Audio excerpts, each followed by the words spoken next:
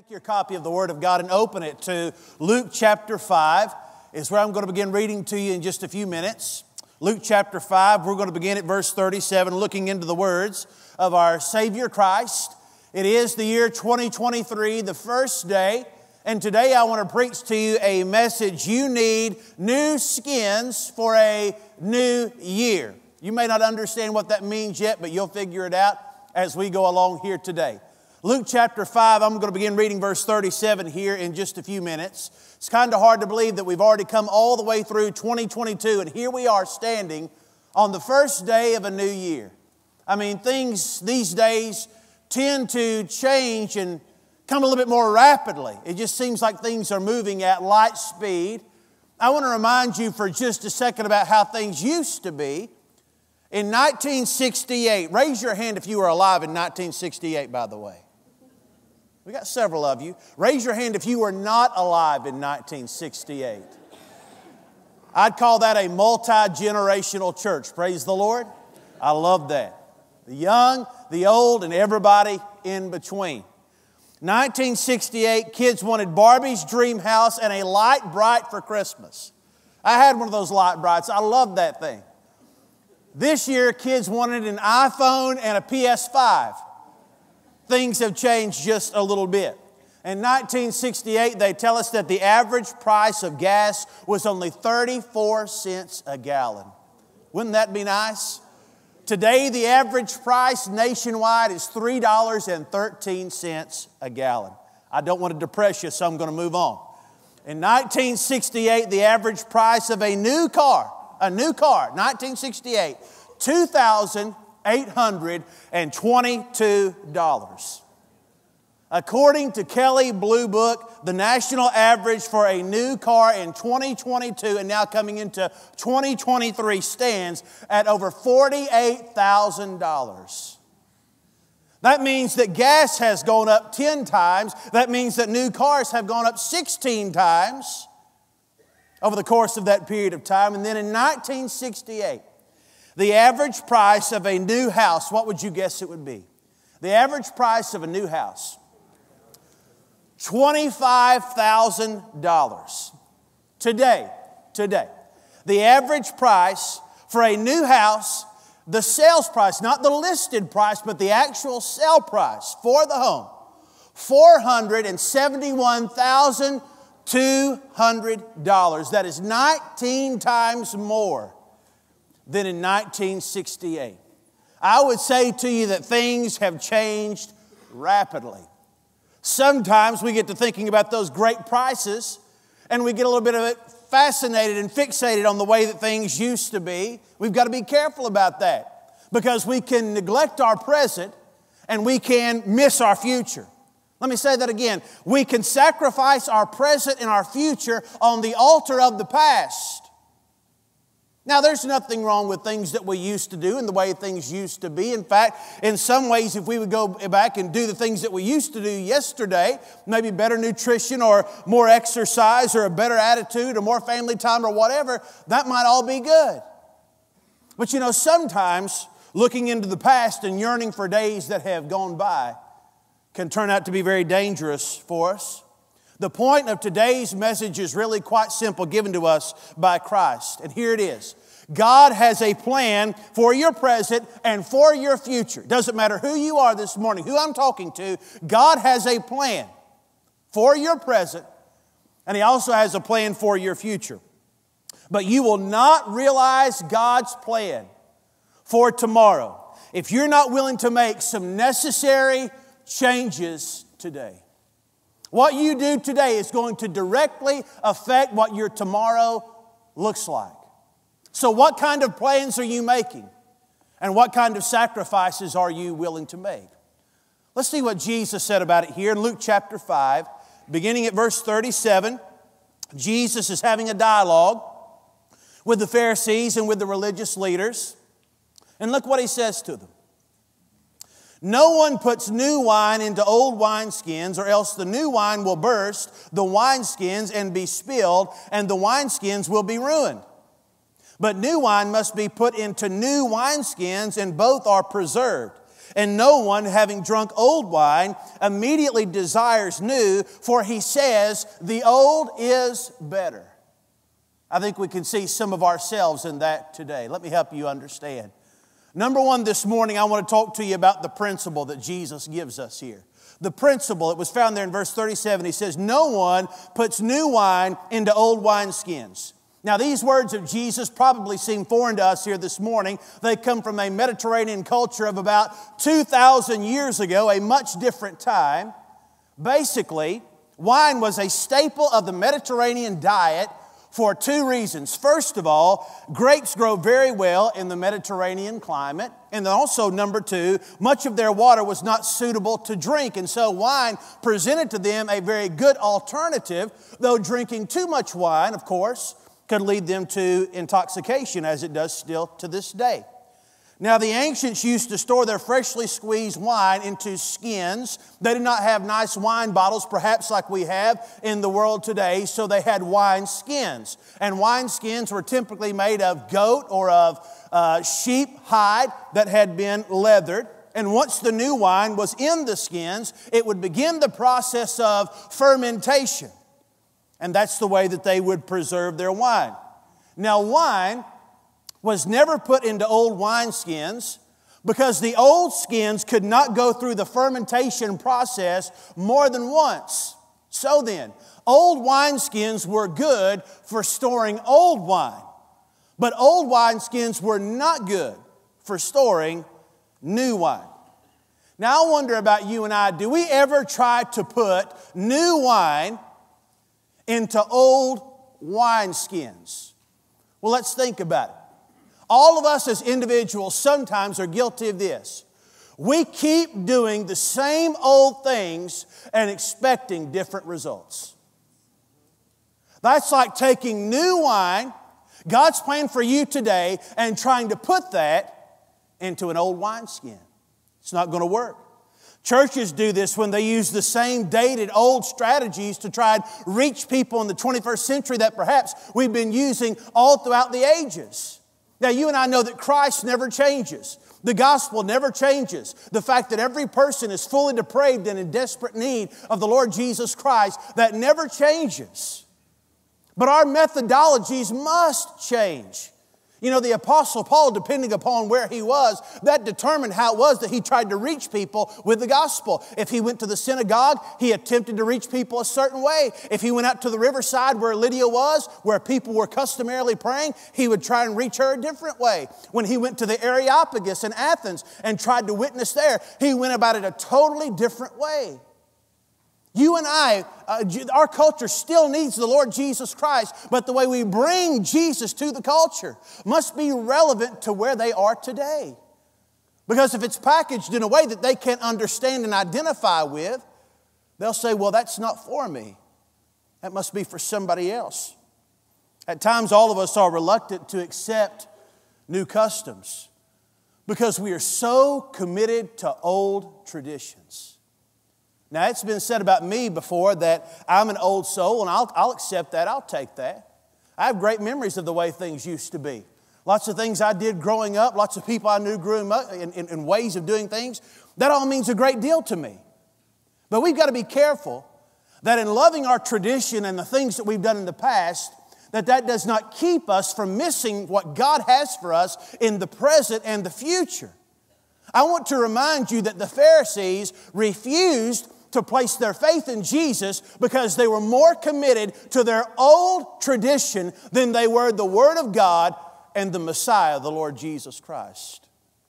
So be careful about your relationship to the past. If you've got wonderful, fond memories that you think about often, that is fantastic. Always hold on to those things.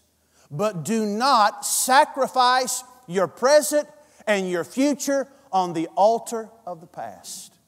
We've got to be careful. Number two, let me say to you now, not just the principle, but there is a problem presented here by Jesus. The problem in verse 37, he says, The new wine will burst the wineskins and it will be spilled and the wineskins will be ruined. So, the main problem with storing new wine in old wineskins is that the old skins could not withstand the fermentation process more than once. During that process, gases would cause the old skins to expand more than once, and the old skins were destroyed, and the new wine that had been poured inside of them was ruined. So everything at that point was lost. Now, refusing to, pa- to put away the past and to press toward the, the future that God might have in store for all of us, that can lead to some fatal consequences. When you and I are so committed to the old way of doing things, what's comfortable, what's familiar, and we refuse to make the necessary changes, that can have some terrible consequences for all of us. Do you all remember back in the day there was this little store that we would visit a lot, probably back in the 90s and the late 80s on a Friday night? Some of y'all are going to remember what I'm talking about when I say Blockbuster Video. You know what I found not too long ago? My old Blockbuster card. Remember they would give you a card and it had a barcode on it. And you would go in, and when you wanted to rent a video, you would show them your card. And then when you showed them your card, you could pay the money, you could rent your video, your DVD, or whatever the case were. And if you had any late fees, because some of y'all know that you were not good about getting those videos back on time, right? The same people who used to not rewind your tapes. We didn't like that. Blockbuster video. Uh, when, when, my, when my kids were really little and we were living in Morristown, and man, some days we were poor as Job's turkey. Have you ever been there before? But all we could afford to do was go down to Blockbuster on a Friday night and rent one or two videos, pick up a $5 pizza from Little Caesars, and go home and call it a Friday night, right? I remember those times. Blockbuster Video. That was a company that was started in 1985. And man, they grew exponentially with the, with the coming out of the, the release of the VCR. And by the way, remember how much those old VCRs used to be? These kids are totally lost right now. They have no idea what I'm talking about. VCRs, remember, they were like five and six hundred dollars when they came out. Thankfully, they went down later, but you know, everybody started getting them a VCR, and so then we could go to the video store and we could rent us a tape, and we come back to the house, and man, through that process, blockbuster videos all over the nation, internationally. They begin to just explode. Do you know at one time when Blockbuster Video was at their peak, they had 9,049 stores internationally. Over 9,000. Do you know that right now, today, January 1st, 2023, there is one Blockbuster store left? It's in a little town called Bend, Oregon and you can go visit it today. A documentary has been released, by the way, on a platform called Netflix about the last blockbuster. Have you seen that? That's incredibly ironic. Do you know why? Because several years ago, some creators of a new concept, a new movie platform, came to the leadership of Blockbuster and said, Hey, we've got this new idea. We think that eventually videos and DVDs and cassettes are all going to go the way of all flesh. And so we really think that you ought to look into this streaming concept of movies that we've got. And the folks at Blockbuster, they looked at that, they laughed at that, and they went their merry way. That little company that they could have bought into was Netflix. And now Netflix has millions and millions of subscribers all over the world. See, Blockbuster, they missed their future because they were so fixated on the way that they had always done things.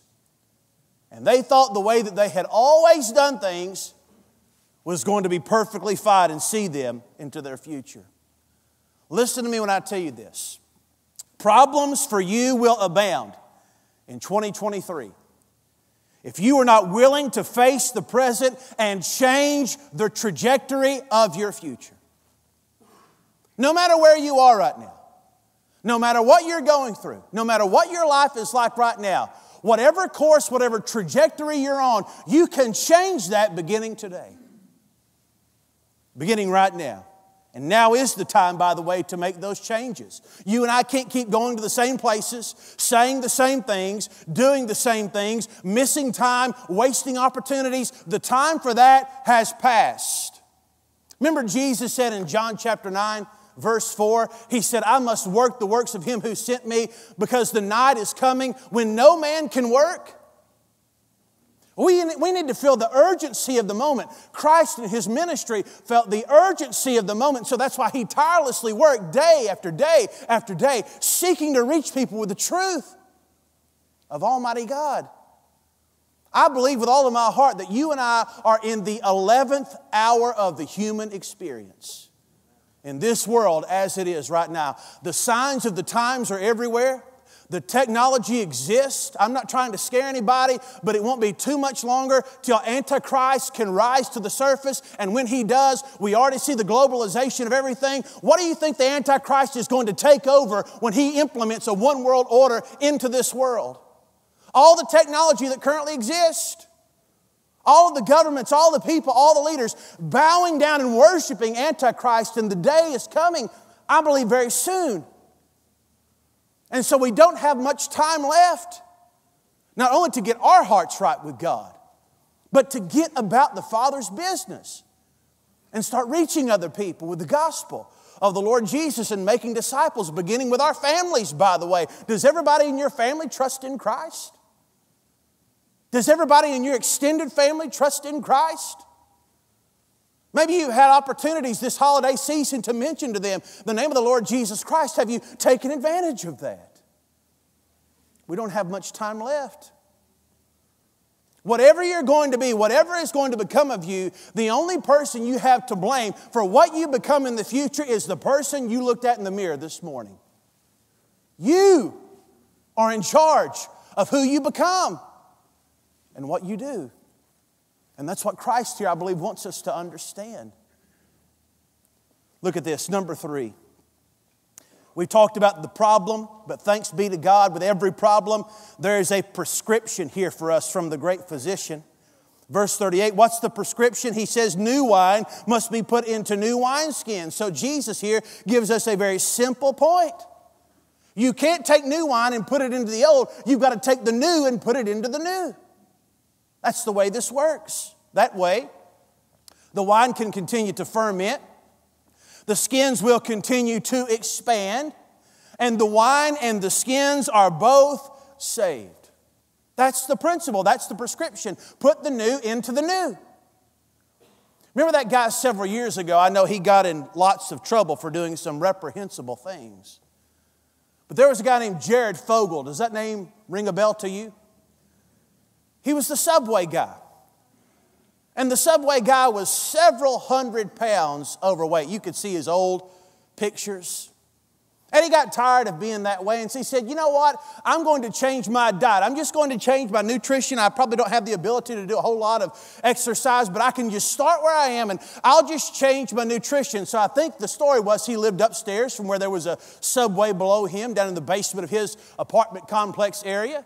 And so he said, I'm just going to give up all this bad food that I'm eating right now, and I'm going to exchange that for a couple of low calorie, foot long subs every day. He did that over a course of months. And the reason that he became the face of Subway before the things that he did, and now in federal prison, is because in just a few months, he lost about 200 pounds. He decided, I don't want to be like this anymore. I don't want to be this size anymore. And so I'm going to change something. He did something that he'd never done so that he could accomplish something perhaps that he had never accomplished. And I would say the same holds true for you and I as well. If you and I want to accomplish what we have never accomplished, then beginning today, we perhaps have to do what we've never done. What would you be willing to do? What would you be willing to sacrifice in the new year? I want you to think especially about your walk with God. You know, I can ask you this and you can answer this inside yourself right now. What's your relationship with God like right now? What's it like January 1st, 2023? Did you cruise through 2022 going through the motions? Coming to church maybe once or twice a week, once or twice every other week or month. Giving to the work of the Lord sporadically. Maybe once in a blue moon attempting to witness to somebody about the good news of the Lord Jesus Christ. What was your life like with God in 2022? And what today is the current status of your relationship with God? What do you think that putting new wine into new wineskins would look like for you in your relationship with God over the coming year? What if you determined in 2023 that you were going to draw closer to God? And I'm not just talking about something that you say and agreeing, oh, that sounds nice, I'd like to be closer to God. I'm talking about being intentional about it. I want to ask you this morning, sir ma'am, what is your plan for spending time every day alone with God in 2023? What's your plan? I'm talking about get down to the nitty gritty. Now, because if you've got, if you and I have something that really means something to us, if we've got a favorite team that we love to watch, man, we'll do whatever it takes to clear our schedule and make the time and get there and watch the game. I mean, if it's important to us, we'll do it. Ask yourself, what time of day do you plan to spend with the Lord every day? How long are you going to allot yourself to spend time with God? Is there a room in your house where you're going to spend that time with the Lord? Is there a place perhaps where you work where you can get alone by yourself and in a closet or a room by yourself and you get alone with God? What's your plan in 2023 for getting alone with God? Does it include praying, spending time, hours in prayer with the Lord? I hope. You know, you don't have to spend hours of, of time in prayer every day with God. And you don't just have to be in the prayer closet or in the house to spend time in prayer. You can pray throughout your day, but there ought to be at least one intentional time where we come away from everything in the course of the day to get alone with God. And let me be honest with us this morning. The reason for some of us 2022 didn't go exactly as we had hoped or planned is because we didn't prioritize our relationship with God. That's why. It begins with prayer. Do you know how to pray? Would you like somebody to coach you on how to pray? please reach out to a brother or sister in Christ. Reach out to me. Reach out to some of the, the men, the women in our church who are seasoned followers of Christ. We'll help you. We'll come alongside you. If you want some insight into how you can pray perhaps more consistently and effectively. What about Bible study? What plan do you have for Bible study in the coming year? I know this if you don't have a plan, you won't do it. Are you still with me? If you don't have a plan, you won't do it. My buddy Ron Reho, I had to take Nicholas and Caitlin. Thank you all, by the way, for your support and loving them and coming and being a part of their wedding the other night. That was so special to all of us. And then early yesterday morning, my wife and I got up and we took them to the airport so they could spend some time uh, together on their honeymoon. And about that time, I, we, we dropped them off. I got back home. It was early, about six or seven, something like that. And I was just sitting there. I was I was about to go back to sleep, and my buddy Ron Reho sent me a text, and he said, Preacher, today, if it's possible, I'd like to get 10 of your devotional guides from you. I said, Sure, I can do that. I can, you want me to meet you? I can bring them to you. So I brought him the devotionals yesterday. And you know what he said to me? Here's what he's been doing over the course of the year, by the way. Here's what I wanted you to hear. Often, usually weekly, he sends me pictures of pages in that devotional guide that he's read. Almost every day, he would read that devotion, he would underline portions of that devotion, he would take pictures of that devotional page, and he would share that on his Facebook wall so that other people could hear the truth and be exposed to Christ. And usually, he would, every, every so often, he would send me pictures of what he'd been reading and what that meant to him. I took him those devotional guides yesterday and I said, Ron, what are you going to do with these? He said, Well, I plan to give these to people that I want to encourage to get in the Word of God every day. He said, I work with people. Do y'all work with people who need to be encouraged to get in the Word of God? He said, I work with people, I'm around people who need to be encouraged to get into the Word of God. And so I want to take these and give these to these folks and just encourage them to spend time with Christ. He told me that he's got one or two devotions that he did throughout the entire every day of 2022, and that was his time that he spent with the Lord. He had a plan and he worked the plan. What plan do you have? Or perhaps maybe in 2023, you want to get into better physical condition. Many people make those resolutions. In fact, I think that's the number one resolution when people come to a new year, want to get in better shape, want to, want to exercise more, want to have better nutrition. You know, I don't know if you've noticed, but we kind of come to the Christmas season, and my wife and I, we were sitting down the other day, we were watching TV, and You know, you come to the Christmas season and it's cakes and it's cookies and it's food and it's restaurants and it's all this stuff you're bombarded with. And as soon as Christmas is over, December 25th, boom, December 26th, every weight loss commercial in the history of mankind comes on the next day. It's like, you guys must hate us because you encourage us to eat all this good food and go to these nice restaurants and do all this stuff. And then, boom, after you help get us in this shape, you're like, hey, it's time to get. It's all I'm saying to you is there's a million plans out there, all sorts of things that you can do. And I bet you and I all know those nutrition plans, those exercise plans, whatever they might be, we know from personal experience that they work, right? The plan works if you work the plan. And that's where the water hits the wheel. Because sometimes it's a little too much like work, right? Or what if we said in the year 2023, I want to be a better soul winner? I want to be more consistent about reaching people with the gospel of my Savior Jesus Christ. My buddy Don Hughes, who's sitting right here today, he texted me yesterday. He said, Preacher, I've got an idea. Maybe we could throw this out there to everybody. I said, Hit me with it. He said, I think that maybe what all of us should do is come up with a number of people that we would like to attempt to witness to over the course of the coming year. Now, Don probably would not mind me saying this because you all know that Don tries to help us, encourage us, lead the way in trying to share the gospel of, of Christ with people who need to hear it. He said, My number for the coming year is 365. I want to, God is my help and my witness, try to witness to one person a day for every day of the year. Now, let me caution you. When you have a plan, when you're trying to get things rolling in the right direction, you don't want to bite off more than you can chew. Now, frankly, every one of us that are followers of Jesus probably ought to be witnessing to at least one person a day. Really, we should. Because let's be honest, there's more lost people out there than there's ever been. You work with them, you go to school with them, they're in your family, they're your friends, they're your loved ones. There's more lost people than there's ever been. So, really, all of us should be able to do 365 over the course of the coming year. But if you've never done hardly one or two over the course of a year, then I make a suggestion to you start small. What if you said, sir or ma'am, I'm going to intentionally try to witness to one person a week, one a week in the coming year? That means by the end of the year, you would have witnessed to 52 people. Let me ask you something. Did you witness to 52 people this past year?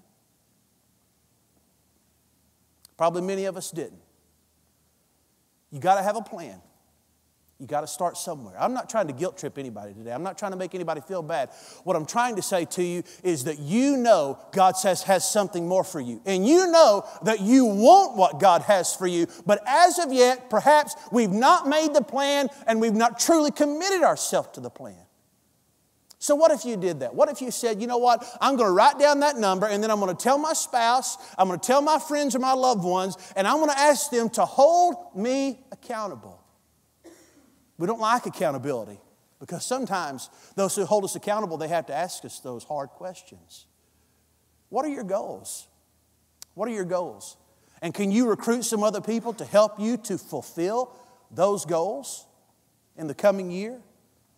Number four, let me talk to you now about the product. What is the product? What is the result of this new wine and new wineskins. Well, Jesus says it there in verse 38. He says, when we do it the right way, both are preserved. The wine and the wineskins are both preserved. Dramatically different results. The wine is not lost and the wineskins are not ruined. Both preserved and everybody is blessed. I've just been kind of laying out a few things for you. And there's no way on a Sunday morning, me standing up here, I can make an exhaustive list. There's probably no way I can touch every single thing that you've got in mind, perhaps, that you want to do for the coming year. But you've got those things in your heart and your mind right now, things that you believe that God would have you to, to do, the person that God would have you to become. What if you truly dedicated yourself to that in the coming year? What if you truly, with discipline and dedication and perseverance, dedicated yourself to that every day, you know what you'd find? From January the 1st, 2023 to January the 1st, 2024, you will be a drastically different person. You'll be a better spouse. You'll be a better child. You'll be a better parent. You'll be a better employee. You'll be a better neighbor. You'll be a better student if you will truly make that plan and dedicate yourself to that plan and trust and pursue the Lord Jesus Christ in the power of the Holy Spirit every day. You'll become a drastically different person.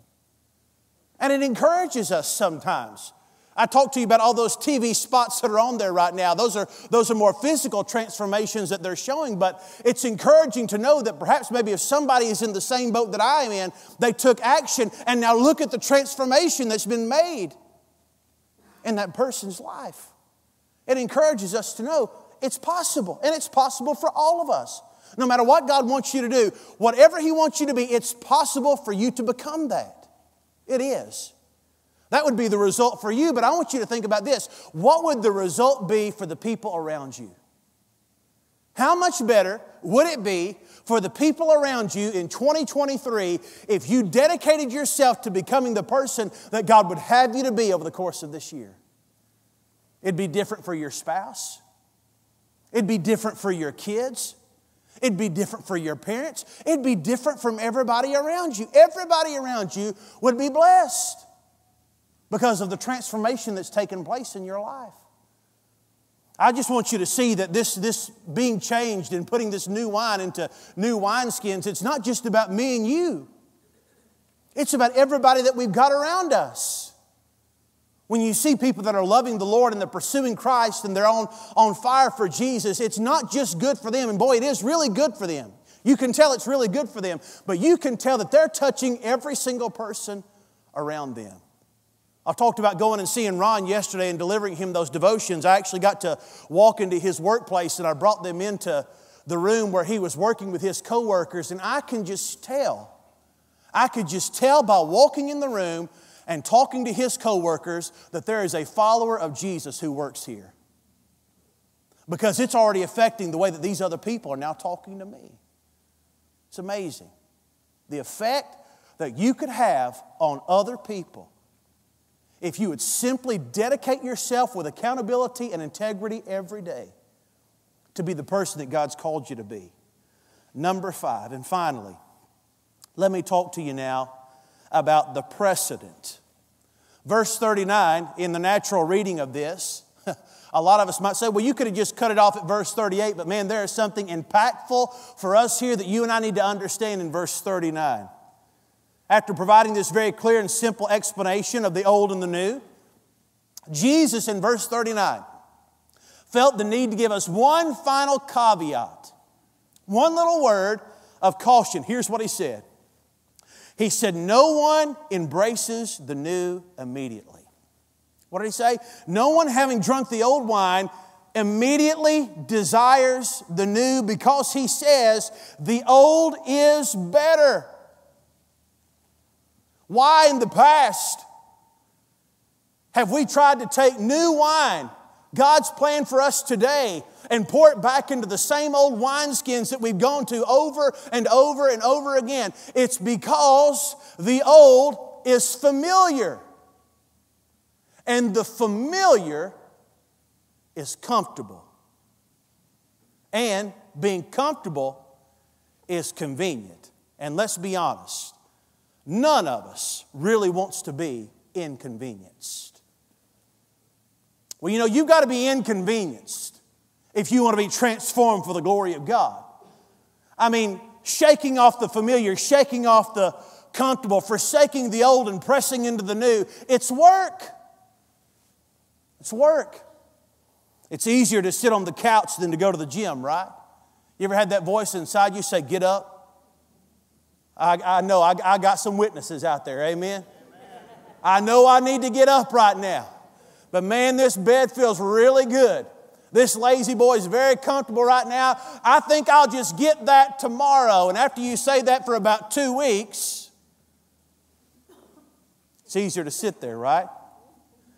It's easier just to enjoy junk food than to practice healthy, good, nutrition. We know that we're in a world, by the way, our world is not conducive to you and me becoming who God wants us to be, by the way. There's temptation everywhere. Every single street corner, there's junk food available to us, every convenience store, every gas station that you walk into. It's easier to be selfish, by the way, than fixing a relationship that's broken. Some of what I've said has had to do with the physical, but what about the relational? You got a broken relationship with somebody? You got a broken relationship with a parent, with a child, with a coworker, with a church member? Is there a broken relationship that needs to be repaired? It's much easier just to say, forget it, than to try and make a phone call and have a conversation and experience some reconciliation. That's, that takes work. It's easier to keep on drinking, smoking, doing drugs. You know why? Because old habits are hard to break. It's work. Our sister in Christ, Miss Connie Holder, she said to us in a video testimony a month or two ago that she had battled with an alcohol addiction for 35 years. But by the power of God, in December of 2020, she was set free by the Lord Jesus Christ. Now, when I say she was set free, God set her free. God delivered her from that addiction, but here's what she had to do she had to quit going to the package store. Amen? Maybe you need to quit walking down the alcohol aisle. Stay away from those cigarettes. If you know there's somebody that deals in substances, you remove that person totally from your life. I'm going to give you a principle for the new year. The Bible says in Romans 16, give yourself, make no provision for the flesh. Make no provision for the flesh. Here's what I interpret that to mean if you give yourself a chance to sin, you will. If you give yourself a chance to sin, you will. So just don't give yourself the opportunity. Some things need to be cut out of our life. Not only do individuals yearn for the way things used to be, doing things the old way, the familiar way, the comfortable way, but sometimes, you know, churches get lulled into a state of complacency and doing what we've always done and perhaps maybe expecting a different result from that. You know that these people who watch trends in church life and denominational life, they tell us that this year, probably in America, between 6,000 and 10,000 churches will close their doors, never to reopen again. That means that somewhere probably around about 200 churches a week are going to be closing their doors. Why is that? Why would churches that once preached the gospel and saw the waters of baptism stirring, churches that used to be a focal point in the community, how could it be that a church that perhaps has existed for 50 years, 75, 100, 125 years would now be closing its doors? It's because most of them, those that are left in those churches, are happy to sacrifice the future on the altar of the past. Not too long ago, I walked into a church, was praying with them and trying to help them a little bit. And when I walked around and looked at the church, I felt like I had stepped into a time warp. Isn't it sad that sometimes churches, instead of feeling like soul winning stations, disciple making stations, places where families and people can find hope in Jesus Christ, sometimes when you walk through the doors of their buildings, it feels more like a museum than a place where people are being set free by Christ. I mean, I literally felt like I had taken a step back in time. Even talk with some of the church's leadership about what desperately needed to be done in order for the church to continue to survive. But sometimes, the folks in those places, they may not say it like this, but what they actually mean is if surviving means that we've got to change, well, buddy, we'd rather just stay how we are and die. Is that how you feel personally? If me becoming the person I need to become means that I need to change, well, then perhaps I just want to stay the way I am and just begin the slow process of dying physically, emotionally, spiritually. Is that really how we feel? Or do we believe perhaps God has something more for us? You know, as it pertains to churches, by the way, while I'm on this subject, you know things that get said in churches that are dying? We've never done it that way before. Keep saying that. Keep saying that. You know what? It was good enough for my parents and my grandparents, so it's good enough for us. Keep saying that. Keep saying that. I'm so grateful that I pastor a church that's multi generational.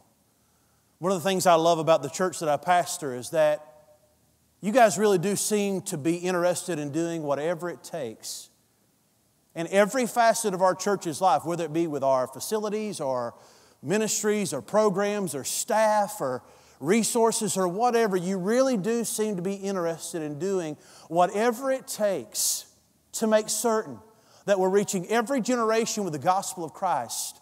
I had, I had a lady who came to me after the Christmas Eve service, and I guess her child had gotten a little rowdy during the service. And she said to me at the close of the service, I'm so sorry. My son got a little rowdy in the service. I said, Ma'am, you don't have to apologize to me about anything. If I ever pastor a church where I don't hear the sound of children crying and going through the facility and running around and putting their hands on the wall, I'm going to be a very sad pastor. Jesus loved those kids. When the disciples tried to keep the kids away, Jesus said, You let the little children come to me, for the kingdom of heaven belongs to such as these. What's it going to take for us, folks? In order to be who we want to be, we've got to make those changes. We've got to do what we've never done if we want to be who we've never been. As individuals, we need to seek counsel from the Lord. We need to make our plans, and please make a plan.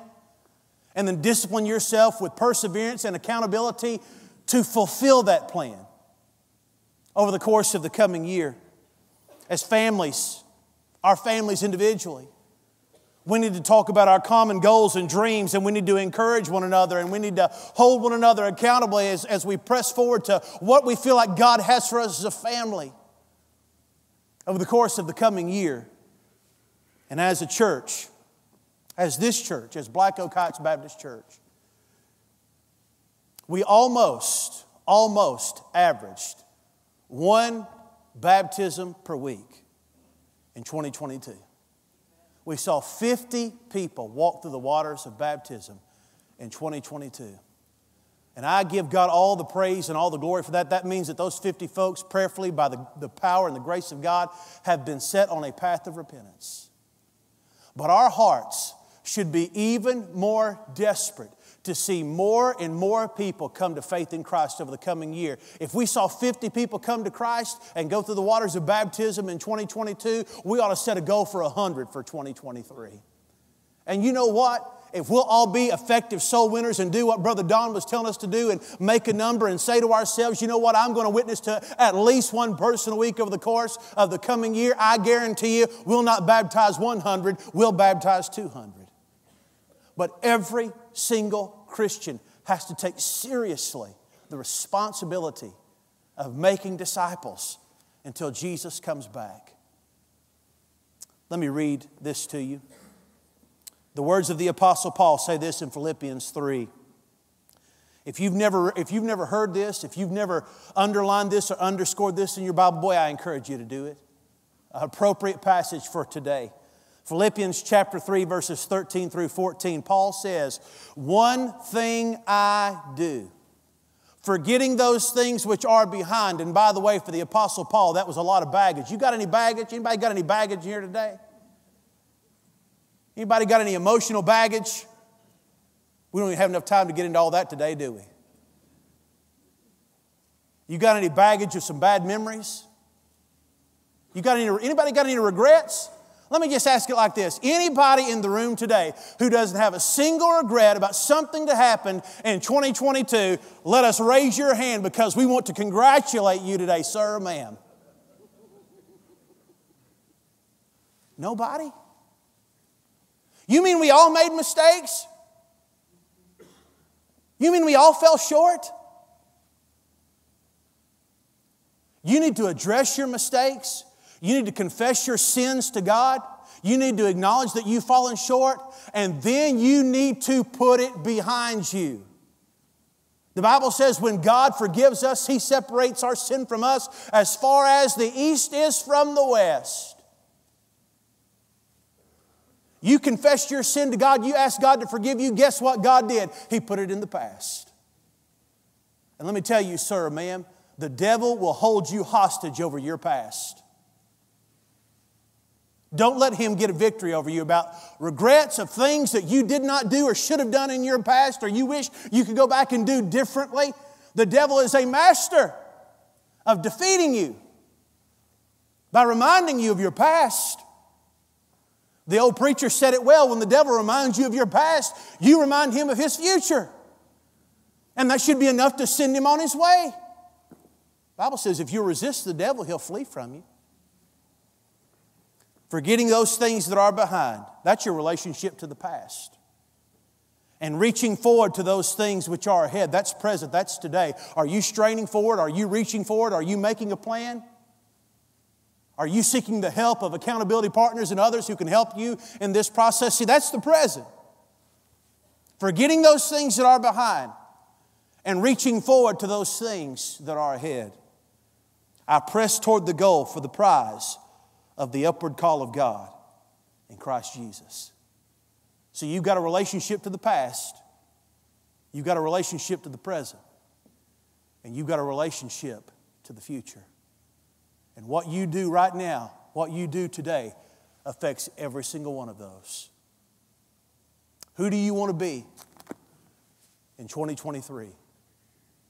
Who do you want to be in 2023?